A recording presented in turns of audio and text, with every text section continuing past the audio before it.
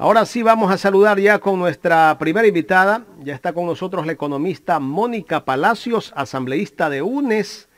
Con ella vamos a hablar sobre la comparecencia de Capaya a la Comisión de Fiscalización. Asambleísta, buenos días, gracias por acompañarnos a través de Ecuador en directo. Justamente el fin de semana pude ver eh, esa comparecencia de Capaya a la Comisión de Fiscalización ¿Usted me está escuchando, este asambleísta? Sí, le estoy escuchando claramente. Buenos días. Ah, perfecto. Es que acá, me decían que no tenía audio, pero veo que estamos bien. Bueno, estuve viendo esa comparecencia, a ratos parecía un show, y cosas que me llamaba la atención era la posición de Capaya. Capaya fue como que se sentía respaldado por alguien y a ratos se volvía un poco hasta intransigente, diría yo, o grosero. Buen día.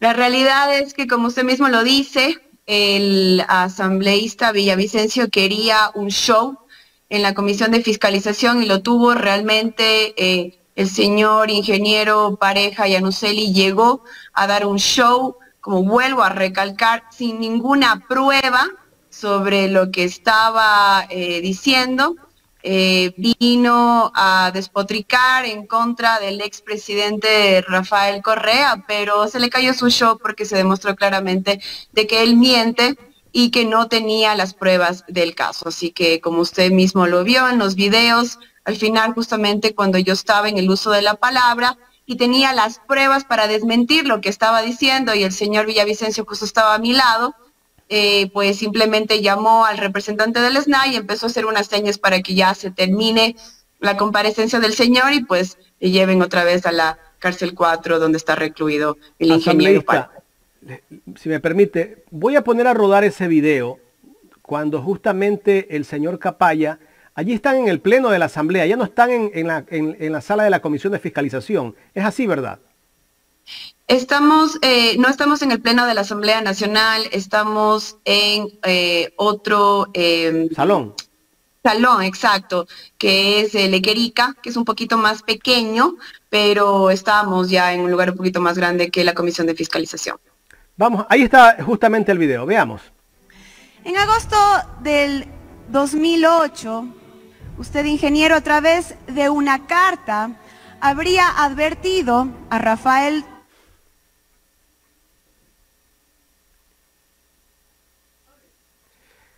Ahí es la parte donde justamente, no corte el audio, vamos a retomar nuevamente. Ahí es donde él dice que hasta ahí nomás, ¿no? En ese sentido, señor eh, pareja, me voy a remitir a los hechos.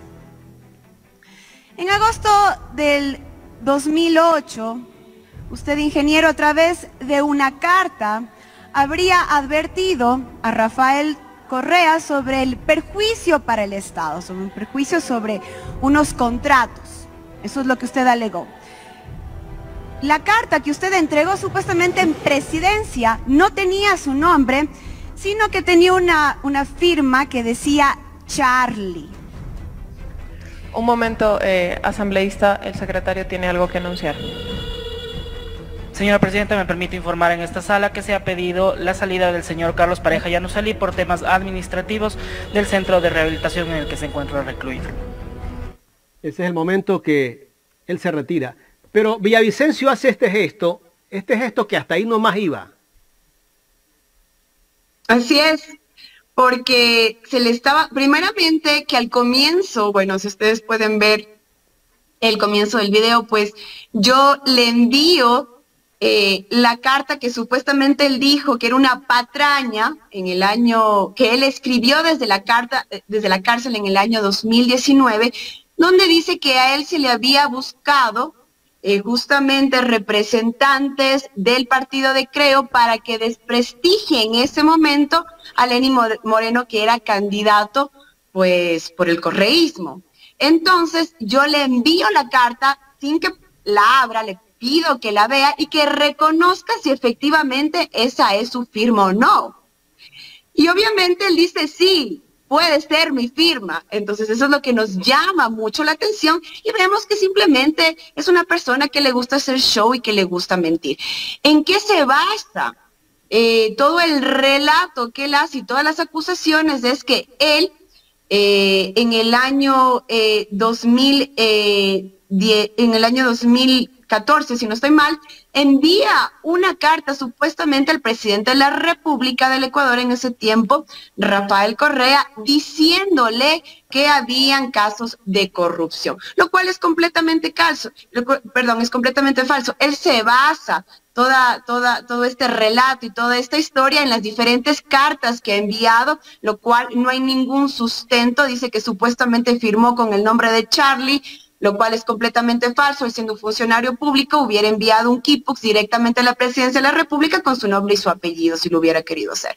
No lo ha hecho, como vuelvo a recalcar, esto es un show que dio, él lo que está haciendo es em, pues tratar de limpiar su nombre, acogerse a la cooperación eficaz, esta ya es la segunda vez que lo trata de hacer y realmente eh, sin ningún beneficio a su favor porque ya se sabe que todo es mentira. Ahí está la carta justamente. Esa es la carta del 2017, si no me equivoco, 18. Del 2019, si no 19, perdón. Es cuando él ya está acá en la Tacunga, justo, está en la cárcel, en la cárcel redacta esa carta. Pero a él devela una serie de situaciones que no le han cumplido dentro de los acuerdos que llegaron con Monje, con José Serrano, me parece. Así es. De eso habla él, ¿no? Y esta carta él dice que, que sí la redactó. Yo lo que hice, porque él al comienzo de su comparecencia dijo que esta era una patraña y una carta y una mentira del expresidente Rafael Correa. Entonces a nosotros, a mí me llamó mucho la atención que él diga eso. Entonces yo lo que hice es doblar la carta y solamente pedirle que reconozca si esa era su firma o no. Y efectivamente dijo, que sí era. No lo dijo con esas palabras, dijo sí puede ser. No lo dijo no rotundamente. Porque uno cuando sabe que no es su firma, uno inmediatamente dice no es mi firma. Así es. Pero él dice sí puede ser.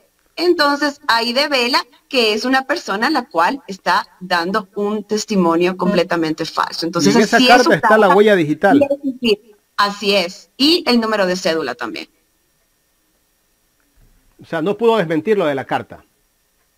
No pudo desmentir. Al comienzo de su comparecencia dijo que era mentira en la mañana y que era una patraña del expresidente, supuestamente para hacerle quedar mal, pero cuando yo le envío ya la carta para que reconozca solamente de la firma, dijo que efectivamente sí era de él. Entonces, vuelvo a recalcar, es una persona que miente, es una persona que no está dando un testimonio verdadero y aparte de todo que está develando en esa carta toda la información de lo que supuestamente le pasó y por eso volvió de los Estados Unidos porque supuestamente le pidieron que mienta en contra del ex vicepresidente Jorge Glass, igualmente del presidente Rafael Correa. ¿Qué pruebas entregó Capaya cuando acusó a Alex Bravo que le entregó 300 mil dólares al fiscal Galo Chiriboga? ¿Hay pruebas de eso? No entregó ninguna prueba, Primero dijo que era 250 mil dólares, después dijo que eran 300 mil dólares. Se le preguntó que por qué se hizo esa entrega y dijo que simplemente le había dado porque quería darle. Como vuelvo a recalcar, es una persona que miente, una persona que no está diciendo la verdad, se está tratando eh, de unir a esta cooperación efectiva, supuestamente pensando que le van a reducir los años de sentencia, lo cual ya dijo la Fiscalía que no lo va a hacer. ¿Por qué no respondió a los asambleístas Roberto Cuero y Pamela Aguirre cuando le preguntaron si Alex Bravo depositó dinero a los familiares del propio Capaya? Y se molestó. Usted también creo que le, increpó sobre esto, ¿no? Así es, se molestó el ingeniero, dijo que la familia de él no tenía nada que ver cuando sabemos perfectamente que su hijo recibió 300 mil dólares eh, también sabemos que tiene pues otras propiedades en los Estados Unidos, no supo responder, se puso bravo y dijo que su familia no tiene nada que ver. Así que sabemos que el señor, como vuelvo a recalcar, simplemente no quiere decir la verdad y vino a hacer un show para mí barato eh, sin pruebas, como siempre, eh, de cosas que nunca han pasado. Aparte de todo, hablando supuestamente eh, de un perjuicio al Estado ecuatoriano de 10 mil millones de dólares cuando yo tenía todos los documentos, demostrando que está completamente errónea su hipótesis de los 10 mil millones de dólares, porque supuestamente lo que él alega que se le había informado al expresidente es que había una intermediación eh, de transporte supuestamente de petróleo, cuando es completamente falso. Nosotros eh, en el Ecuador tenemos a la compañía de transporte de petróleo que se llama Flopec, pero nosotros no tenemos todas las barcazas necesarias ni los barcos para hacer la transportación, así que teníamos que contratar y se desmiente completamente. Eh, las alegaciones del señor eh, Pareja Yanusel. Asambleísta, cuando su colega Bruno Segovia le preguntó si esto lo había denunciado ante la fiscal Diana Salazar, ¿qué dijo él? Él dijo que no directamente, él dijo que había entregado la documentación a varios fiscales, pero realmente nunca hizo ninguna entrega directamente en la fiscalía, en las oficinas de la fiscalía, como se tiene que hacer. Dijo que había entregado a un, fiscal, a otro fiscal y que ese fiscal no ha hecho nada cuando ese no es el procedimiento legal. Él tuvo que haber sido a las oficinas de la fiscalía y haber entregado toda la documentación, pero no lo ha hecho. Claro, tenía que haber entregado y el día que fue todo lo que acusaba tenía que dejar eh, pruebas, pues, ¿no? sí, era verdad, efectivamente tuvo que haber hecho eso hace muchos años, pero no lo ha hecho porque el Señor está mintiendo. Él dice que eh, entregó un dinero a Galo Chiriboga para que haga una reunión de fiscales en Esmeraldas, me parece. Que lo iban a hacer en un hotel y necesitaban cerca de 200 mil o 300 mil dólares. ¿Entregó pruebas de eso? ¿O dijo que tenía pruebas? Como vuelvo a recalcar, primero dijo que eran 250 mil, después dijo que eran 300 mil. Se le preguntó que para qué lo entregó y dijo, simplemente lo entregué porque lo quise dar y no dio ninguna razón. Es imposible que una persona primeramente no sepa cuánto está entregando de 250 mil a 300 mil. Se le preguntó cómo lo entregó, dijo en una bolsa de tela, después se dijo en una bolsa de papel y después pues le preguntamos que por qué había entregado este dinero y dijo, simplemente lo quise dar. Es completamente falso. ¿Quién va a entregar 300 mil dólares a otra persona sin saber para qué? Como vuelvo a recalcar, es simplemente falacias y mentiras de este señor y es un show barato que tuvimos que vivirlo en la Asamblea Nacional. Cuando él actuaba o interactuaba con Fernando Villavicencio, que era el que empezó a hacerle preguntas, me parecía que había un juego ahí y, como que actuaban muy bien los dos. O sea, como que la cosa estaba preparada. Pero ya cuando ustedes comienzan a, a interrogarlo, la cosa cambia y se molesta él. No solamente eso, era el agradecimiento constante que daba el ingeniero pareja a Fernando Villavicencio por tenerlo ahí. Era eh, eh, esa, esa parecía amistad que tienen y decía muchísimas gracias, señor asambleísta Villavicencio, por haberme invitado, gracias por tenerme aquí, que usted es el único que está investigando, que usted es el único que le importa este caso. Pero ya cuando nosotros, con pruebas en la mano, le empezamos a increpar, a ella no le gustó, ya no sabía qué contestar. Entonces fue realmente, como vuelvo a recalcar, eh, un show que dio obviamente amparado por el señor Villavicencio. Ya vimos justamente en el video cómo cuando ya con evidencias en la mano eh, tratamos de buscar respuesta por parte del ingeniero, se le sacó inmediatamente por parte del SNITE. Él dijo que habían más de 20 personas involucradas en actos de corrupción. ¿Dejó los nombres de esas 20 personas? Así es, él dejó supuestamente eh, un pequeño cuadro sinóptico que él lo ha hecho desde la cárcel, no sé cómo cuando no tienen computadora y eso estaba computadora, así que no sé quién hizo, pero pues lo entregó en la comisión eh, de fiscalización, habría que investigar los nombres, pero es extraño que entre todos esos nombres falte el nombre del ingeniero Pareja Llanoseli cuando él ha sido pues justamente sentenciado a 36 años por peculado. Él tiene cuatro sentencias condenatorias, ¿verdad? Así es. ¿Qué credibilidad puede tener una persona que está detenida y después de cinco años sale a hacer denuncias? Aquí hay, algo importante. Eh, hay, otros eh, compañeros, entre eso el presidente de la República, el cual ha sido sentenciado. Hay que hacer una diferencia. Pero el señor Yanuseli, el señor pareja Yanuseli, ha sido un sentenciado confeso. Él ha confesado de su propia boca justamente que él ha cometido estos actos de corrupción. Así que esa es la diferencia. Y claro, después de ser una persona la cual ha confesado eh, que le ha robado al Estado ecuatoriano, entonces obviamente qué credibilidad puede tener este señor ante todos los ecuatorianos y ecuatorianas. ¿Va a ser llamado nuevamente a la asamblea o, ahí termina todo? Eh, justamente la misma pregunta le hice a la eh, presidenta en ese momento. Eh, la asambleísta Cordero y también le hice la misma pregunta al asambleísta Villavicencio inmediatamente para que por favor me vuelvan a dar la palabra porque me quedé en medio de mi intervención y tenía las pruebas en la mano. Eh, se sonrieron y me dijeron que sí, van a ver cuándo va a volver. ¿Usted tenía las pruebas en la mano? Claro que sí.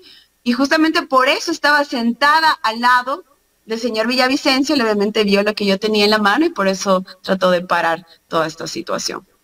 Y cuando él hace así, como que hasta ahí no más, ¿a quién se dirigía Villavicencio?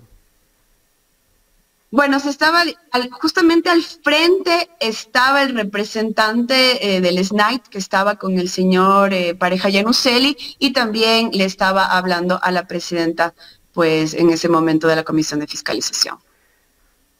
Y se le acerca después, se le acerca el representante de las NAI, eso tal vez no se ve en el video, se acerca y le pregunta a él si efectivamente paraba o no la comparecencia o le sacaban o no. O sea, que daba las órdenes allí, ¿quién era?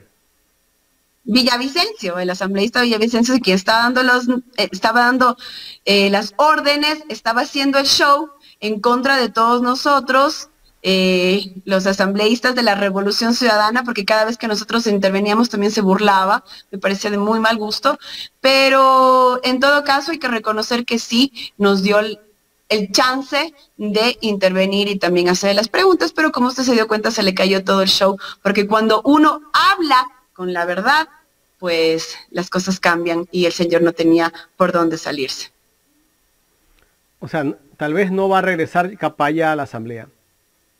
No, no va a regresar. No va a regresar porque quedó muy mal. Reconoció su propia firma. Primero dijo que no era una carta de él, después se demostró que sí era. No hay nada que demuestre que efectivamente habló con el expresidente Rafael Correa. Es una vil y simple mentira. Él pensó que iba a ser un show y que no iba a pasar nada, pero nosotros los asambleístas de la Revolución Ciudadana estamos muy bien preparados y entendemos la situación y también tenemos pruebas en la mano, como siempre, somos técnicos. Correcto.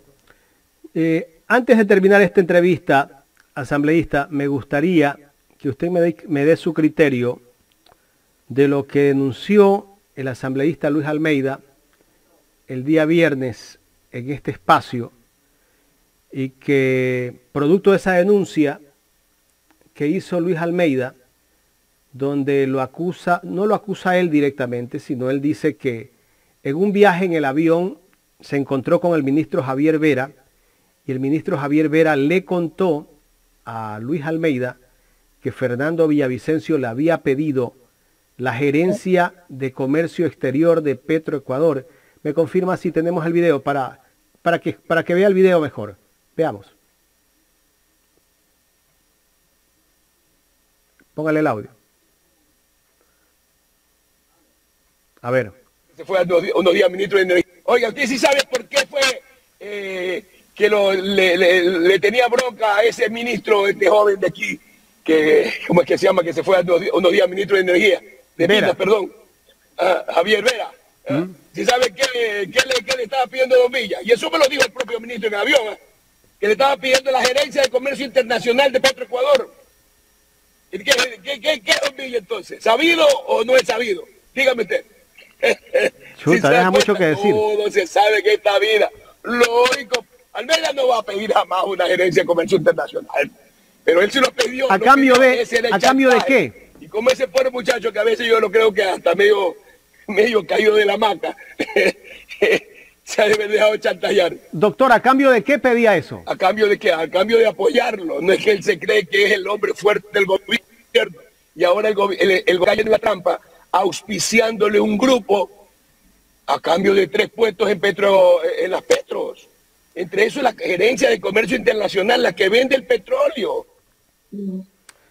Asambleísta. Aquí hay que aclarar algo y me llama bastante la atención estas declaraciones, pero en el buen sentido. El señor, eh, el ingeniero Pareja Yanuseli vino a decir que había una estructura criminal eh, de la revolución ciudadana en el anterior gobierno. Y a mí lo que me sorprende en este momento es que realmente la estructura criminal viene por parte del gobierno del encuentro y ahí están metidos muchos asambleístas. Y estamos viendo las declaraciones, que no son mías, son del asambleísta Almeida. La estructura criminal viene por parte del presidente de la República, Guillermo Lazo, en el caso de Anubio. Y eso hay pruebas en las fiscalías reales. Entonces ahí es cuando nos estamos tratando de lavar la mano y vemos estos shows baratos en la Asamblea Nacional, cuando realmente la Comisión de Fiscalización lo que se debería de estar tratando es el caso Danubio, donde se demostró y se ha demostrado que los asesores ad honorem, el secretario jurídico y entre otros servidores públicos del gobierno del encuentro están metidos en las aduanas, no solamente en las aduanas, en algunas instituciones del Estado vendiendo carros. Entonces, esa es la realidad. ¿Cómo van a decir que el presidente de la República, en este momento Guillermo Lazo, no sabe de esa estructura criminal real con pruebas en la fiscalía? Y que claro, como el esposo del asambleísta Cordero, la cual es la vicepresidenta de la Comisión de Fiscalización, está metido Obviamente, en esta estructura criminal no se hace nada por parte de la comisión. Y venimos con estos shows donde no se ha demostrado nada para tratar de mitigar la realidad que está pasando en el gobierno del encuentro. En el gobierno del encuentro entre los panas del presidente, que hacen negocios, porque él no ha hecho absolutamente nada por el país. Esa es la realidad. Claro, y, y al asambleísta Villavicencio le incomoda cuando un medio entrevista a alguien que tal vez no da una declaración a favor de él. Seguramente, como vino Luis Almeida acá, no vino a estudios, pero estuvo acá con nosotros en el programa Vía Telemática y lo, acusó de esa manera, le ha incomodado y nos ha salido a insultar a Ecuador en directo. Pero nosotros también le hemos, le hemos respondido al asambleísta Villavicencio. El asambleísta Villavicencio está tratando de tapar la verdadera corrupción, eh, la verdadera estructura criminal que existe, que es real, pero que no viene por parte de la Revolución Ciudadana, del expresidente Rafael Correa, porque se ha demostrado con pruebas, no porque yo sea parte de ese partido político, sino porque es la realidad. Lo que sí se ha demostrado de todas las pruebas que hay en la fiscalía de la estructura criminal que existe del gobierno del encuentro en el cual no solamente está involucrado eh, varios asambleístas que ya se develarán los nombres, pero de toda la estructura del Ejecutivo en este momento. Asambleísta, quiero agradecerle por haber aceptado dialogar con nosotros aquí en Ecuador en directo. Muchísimas gracias a ustedes, un honor haber compartido la mañana de hoy. Gracias a la economista Mónica Palacios, asambleísta de UNES